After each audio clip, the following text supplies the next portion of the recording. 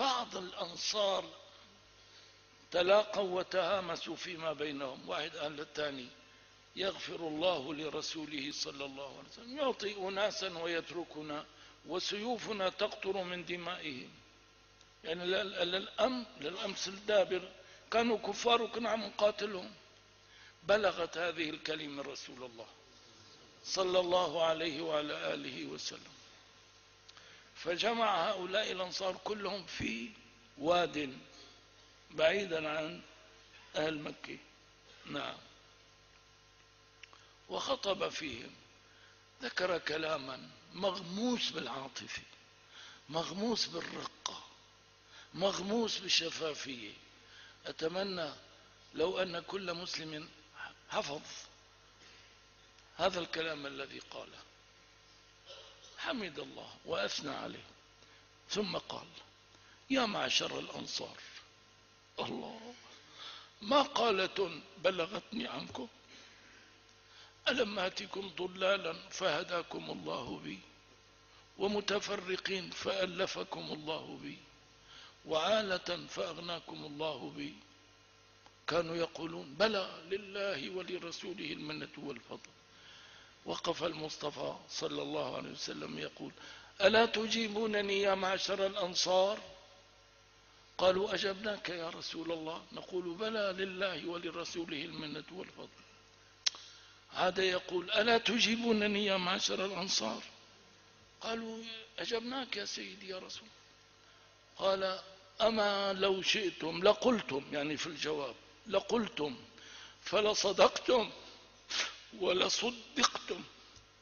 أتيتنا طريدا فآويناك مكذبا فصدقناك عائلا فواسيناك. قولوا قولوا قولوا. لو قلتم لصدقتم ولا صدقتم قالوا لا لا لا لله ولرسوله المنة والفضل. قال يا معشر الأنصار أوجدتم في نفوسكم من أجل لعاعة من المال تألفت بها قلوب أقوام ليسلموا ووكلتكم إلى إسلامكم. ألا ترضون أن يرجع الناس إلى رحالهم بالشاة والبعير وتعودوا إلى رحالكم برسول الله.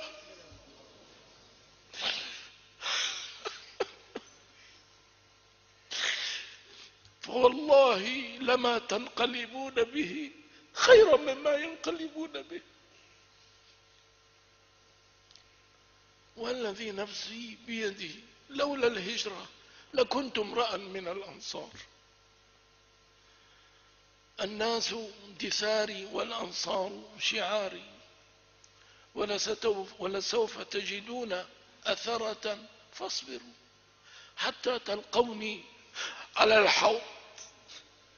اللهم ارحم الأنصار وأبناء أنصار وأبناء أبناء الأنصار. وبكى القوم واخضلت لحاهم بالدموع لهذا الكلام الرقيق العجيب الذي نعم كان يقوله المصطفى صلى الله عليه وعلى آله وسلم.